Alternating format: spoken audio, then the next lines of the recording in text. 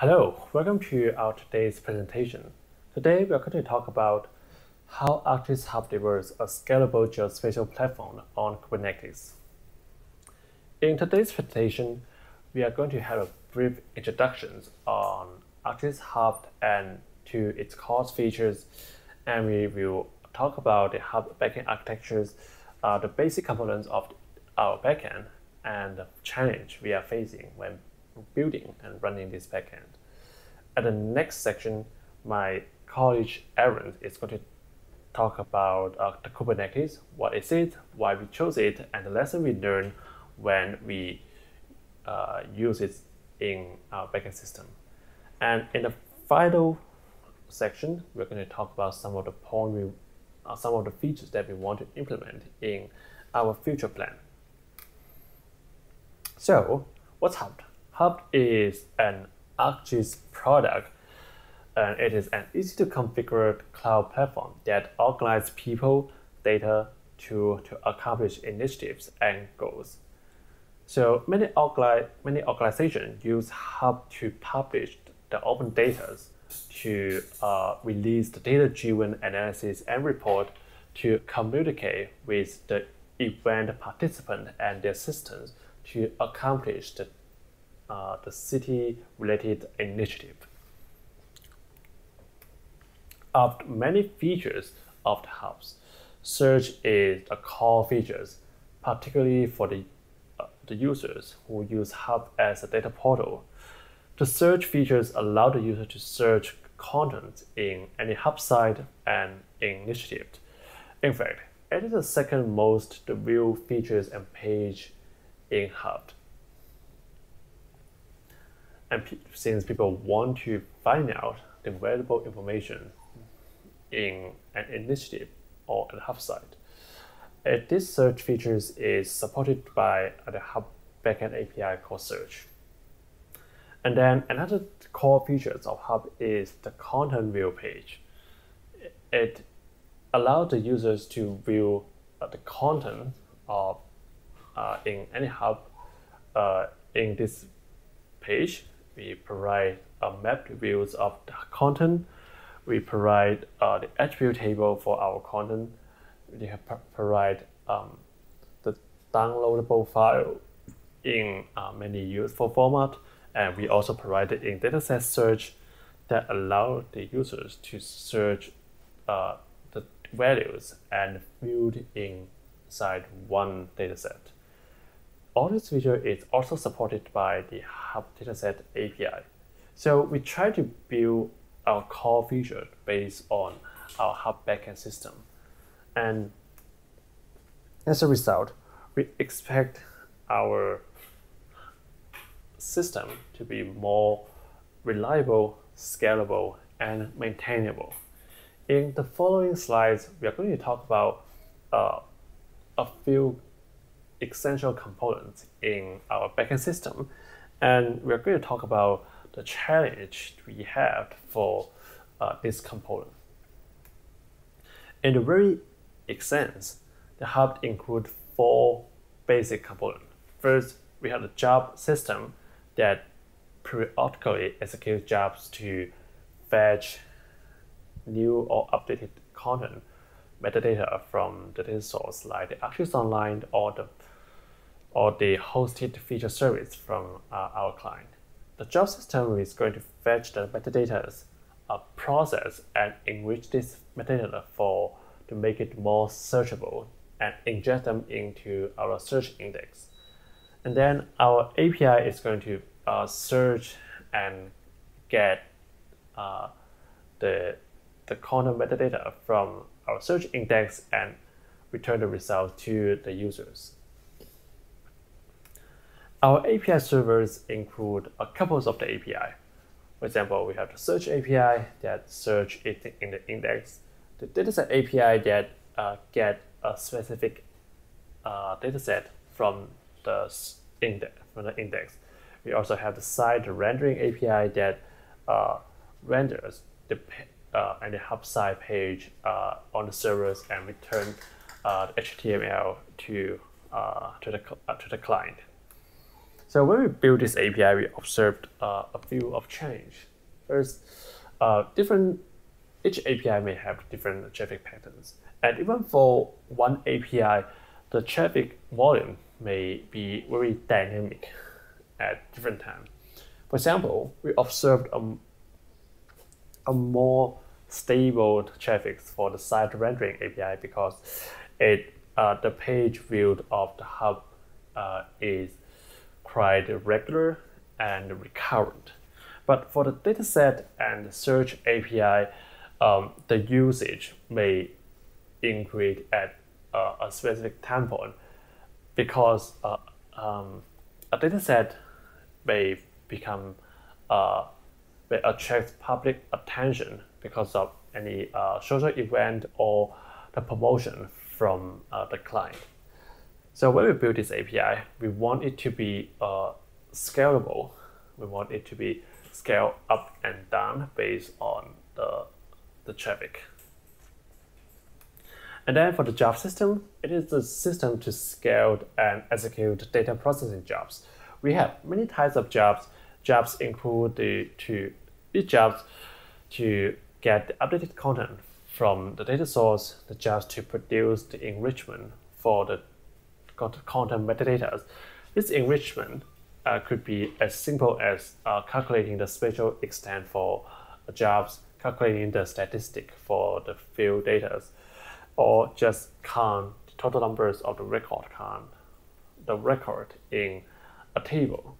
But some jobs could be really heavy, like generating the downloadable file for a different format and generating the map data uh, in the vector tile formats, which could be uh, huge. So we see the challenge over here. Some jobs are super light and some jobs are super heavy. We don't want to um, mix uh, these two types of jobs in the execution pipeline, since that the heavier jobs may take longer time to, to finish and its execution is going to block the, the lightweight jobs. We want each job to be executed as quick as possible so that the result can be added into the search index uh, early Second, the job may fail because of unknown error. This error may uh, come from uh, our code bug. This error may come from uh, uh a problematic uh, data from our data source. So when uh, an error happens, a job failed, it may crash the program that run the jobs. So when the program,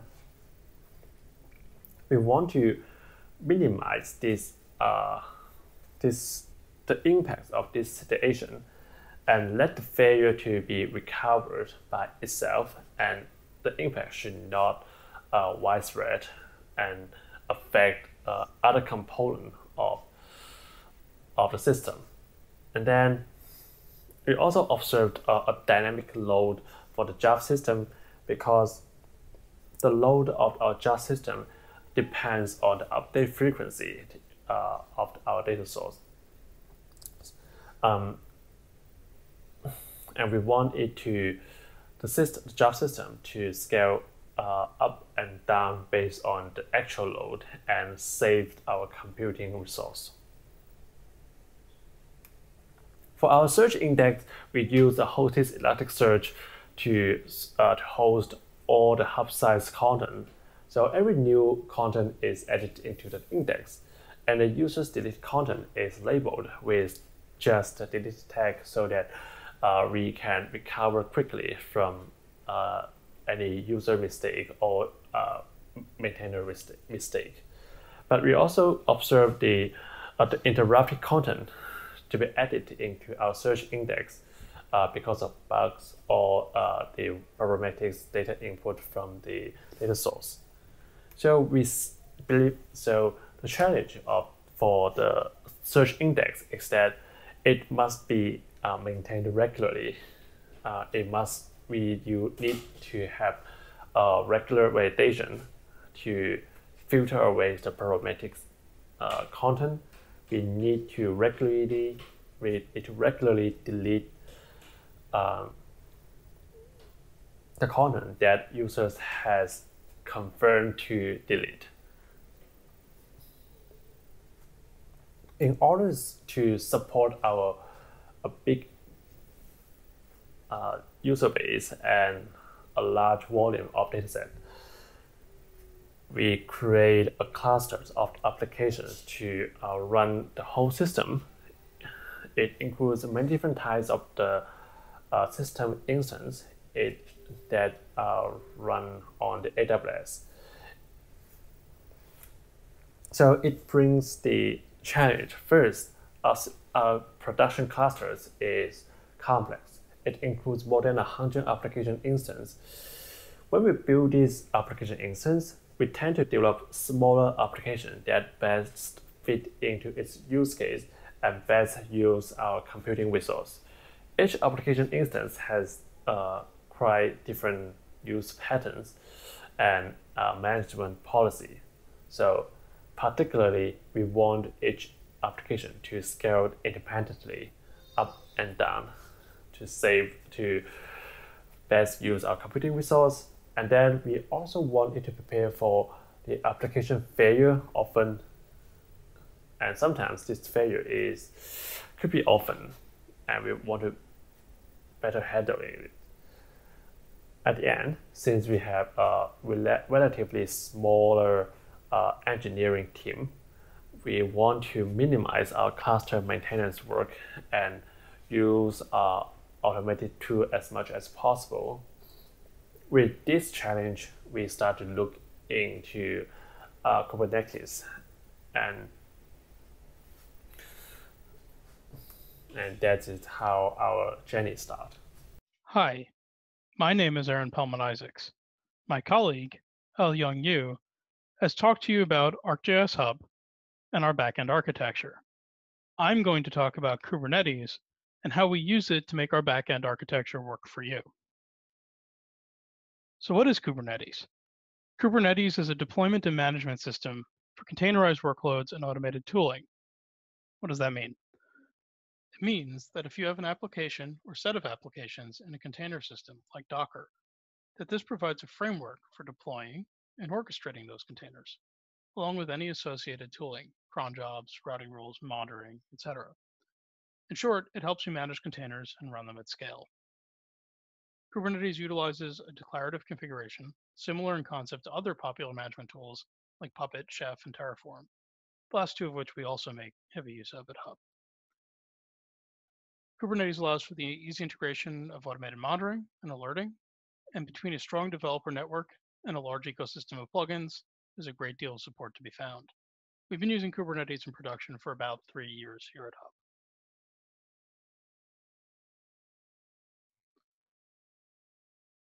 Let's talk briefly about some vocabulary we're going to use later on.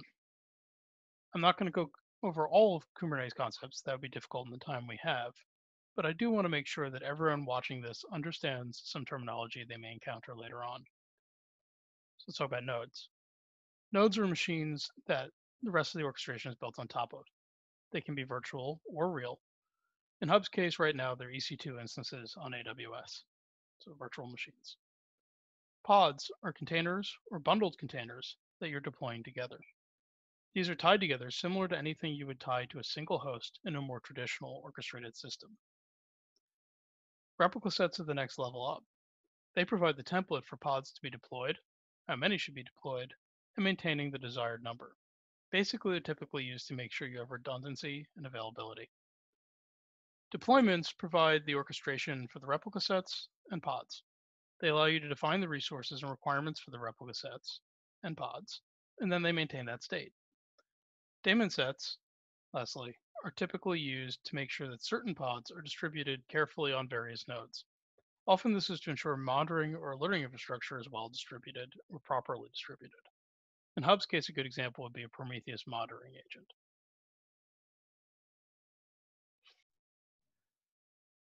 Let's also talk about ingresses. Ingresses are near and dear to me. I spend a lot of time writing Nginx rules. Ingresses route traffic. In this handy illustration from the Linux Foundation, you have a good picture of what that means. All the fish come into one place, but they're routed to different places after. These places are the various service definitions that send traffic to the pods.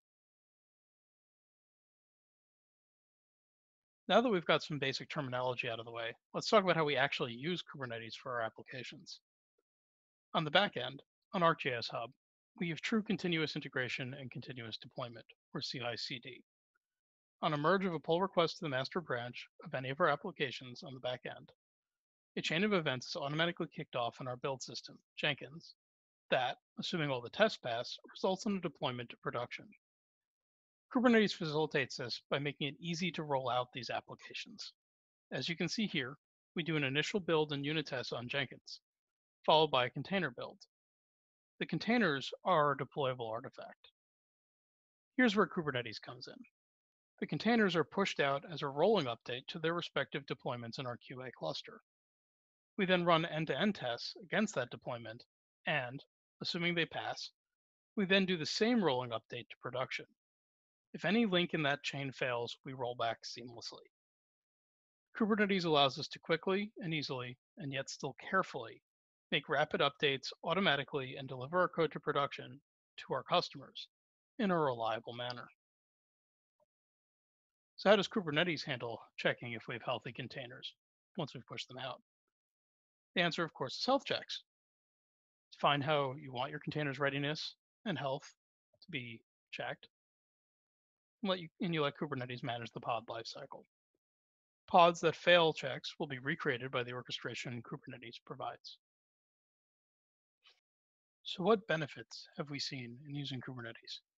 The Kubernetes dashboard allows a quick way to look at health and status of our system.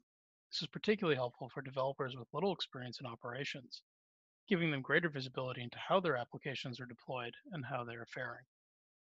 Integration of cron jobs into Kubernetes allows us to easily bundle together necessary repeated jobs with application deployment, again, facilitating developer access to operational tools. Our applications deployed in Kubernetes are typically stateless. Any data needed long-term is stored elsewhere, such as databases outside the cluster. This allows us to let Kubernetes manage pod lifecycles without worrying about data, and we can even replace the entire cluster if necessary. Our typical Kubernetes deployment has simplified our log management. We can also easily wire our alerting and monitoring to the outside tools we already use, like PagerDuty, which is also wired to older legacy infrastructure we run. Command line management is easy. We found that the backend developers pick up how to use kubectl or kubectl easily. Generally speaking, it shifts infrastructure management lower in the stack, aiding developers in their work. I've talked about the dashboard, what you're seeing on the side of this slide is one view of some of our deployments. You can see at a glance the health of the deployments, how long it's been since we created the deployment. Different from pods, bear in mind, these applications are updated many times a day. Deployment is not necessarily rebuilt every time. How many pods are currently running, etc. The ease of management with the dashboard comes with using Kubernetes and again, allows manual management if necessary with ease and facilitates developers in having insight into how their applications are deployed and running. I've also mentioned cron jobs. You can see an example of two displayed here. Exposing the ability to easily schedule crons is helpful, continuing the trend of making things accessible to developers. Because our applications are typically stateless, we can easily start and stop components or replace whole deployments with ease. Failover when health checks or other tests fail is similarly easy. Logging and maintenance. Kubernetes gives us a lot of help in maintaining the cluster's health state. In Kubernetes, our logging infrastructure is deployed with and in the cluster, giving easy access to the logs when diagnosing problems and bugs. For developers, accessing the logs from their applications without any outside components makes things particularly easy. And we can stream the logs from the cluster elsewhere for long-term storage. We also get alerting monitoring, fully configurable. We use Prometheus as a monitoring system integrated into the cluster, and then we integrate it in turn with both our monitoring and alerting pathways outside the cluster, such as AWS CloudWatch, and with our outside alerting solutions such as PagerDuty. We've heavily instrumented the clusters with alerts, and when one fires, it is routed to PagerDuty, then to one of us on the on-call rotation. As you can see here, my PagerDuty dashboard is clear. I have no alerts right now, and Prometheus is showing our API is green. So we've been running Kubernetes in production in Hub for three years. What lessons have we learned? Well, first of all, life is easier with Kubernetes as an orchestration and management layer. But three major lessons come to mind. First of all, alerting and scaling rules are your friends. Those are both hard to get right, and you need to test, test, and continue to test to get them right. The last one is logging is your friend, especially as you look to build out those alerting and scaling rules. So what's next for Hub and Kubernetes? We're looking to move to a cloud-hosted Kubernetes solution like AWS EKS from our older cluster builds, further abstracting some of the management away. We're a small team, and the easier the management, the better. Splitting traffic between multiple clusters is something we do not have the ability to do right now. We can do a blue-green deployment and swap between clusters and swap back, but we don't have the ability to run multiple clusters within an environment at the same time and split traffic between them. We're also looking to move to multi-region support, having clusters running in multiple places and the ability to both split traffic between them and fail over as needed. We are hoping that both of those last two will be facilitated by cloud hosting option.